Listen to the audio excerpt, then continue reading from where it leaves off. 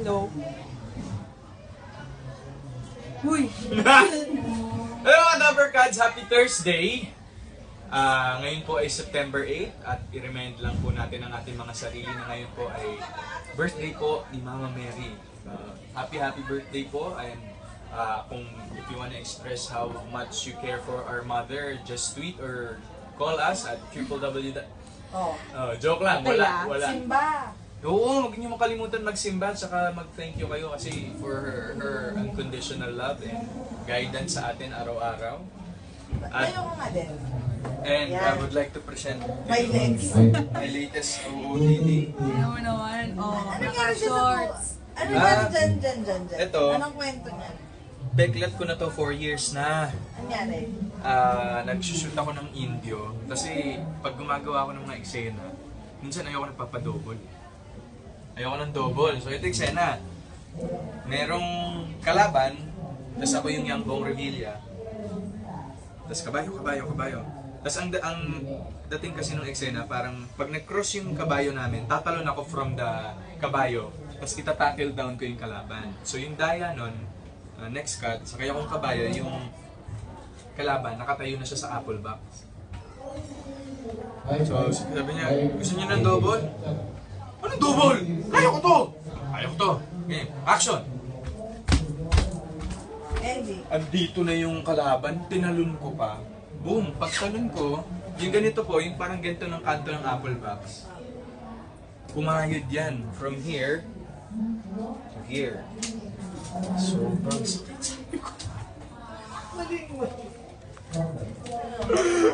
Hindi, hindi. tama sila.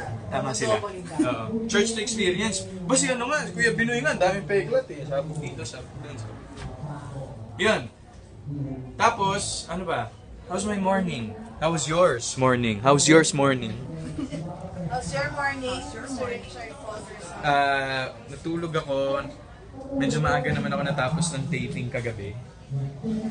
Nagtaong ibon na naman ako tapos. Uh, 10, nakauwi ako. Tapos pinanood akong bagong series ulit. South of Hell. Sakto lang. Hindi masyado. Hindi masyadong Ano oras ka natapos mo ng series? mga 1. So 1 a.m. Tapos dapat mag-gym ako ngayon. Bukas na lang kasi Check, late check. B. Tas, ito sa ano. Tapos yun, pagising sa umaga, syempre, dasal muna uh, for guidance, saka para mag, mag, maganda yung araw. Tapos ligo, ah, tapos pasok ng shower. Syempre, hubad muna ng damit, hubad ng shorts, tapos t-shirt. Tapos pasok ng shower, tapos buksan yung shower. Medyo painitin ng konti kasi malamig. Tapos babasain yung, hop, too much details, tama na. Ayan, after, ah, pili ng damit, tapos, ah, kunin yung ano, Ano nakain mo for breakfast? Ano ba yun? Almond milk lang eh. At saka binilan ako ni Mama Te ng ano, yung parang sandwich na may hipon. Sarap. Saan binili? ah, Ah, hindi, dyan lang sa, oo, dyan lang sa may ano, gas station. Tapos, diretso dito, alam nyo, grabe na po talaga ang traffic sa sa ating bansa.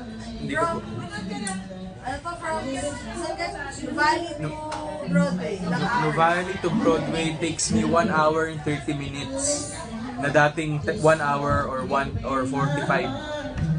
So pag ganun, wala, ang saya-saya ng umaga mo, tapos malulungkot ka. Joke lang, joke lang. Saan ka na traffic?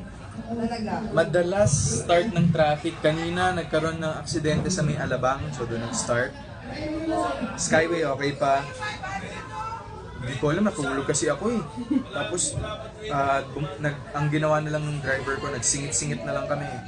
Malaking bagay talaga pag meron kang traffic app eh. Pero minsan, driver ang mga traffic app.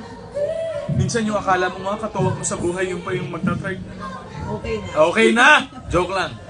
Ayun. Pero, well, at least, mas marami akong time to sleep pag nasa traffic at saka, naka-shorts ka? yun nga, ba't nga ba ako naka-shorts? Kasi ito, pa, Ako panibago. oo nga eh. Para maiba lang, tingnan lang natin. Ba? Oh, kesa skinny jeans, hoy! Ay, may ipapasayaw pala ako sa'yo. Abangan nila yun. Uy, ano yung papasayaw sa akin, Mysteries? Abangan nyo yan, mga Dabber Cats. Oh, oh. Gusto nyo makita yung tonsil ko? Ah, ah, ah. Dyan. And see you mga Dapper Cats, sunod na po. One for all, all for one. Dito lang yan sa E! Bulaga.